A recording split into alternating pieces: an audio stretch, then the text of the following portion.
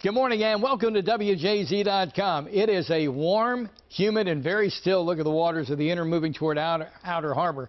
Start to this day.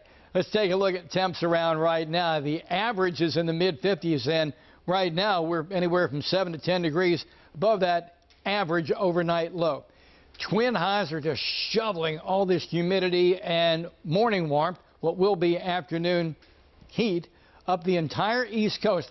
And already you look at the line of showers and thunderstorms breaking out ahead of this frontal boundary as it cruises across the country and comes slamming into the mid-Atlantic later on.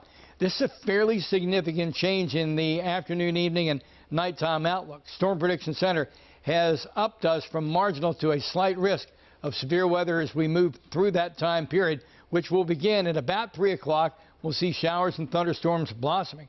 And then that will continue as we move through dinner and then into the, uh, into the uh, bedtime hours.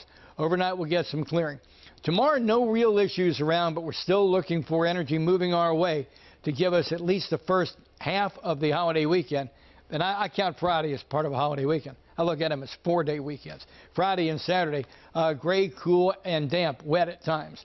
93 your high this day. Overnight tonight, warm. 67 degrees will be the low.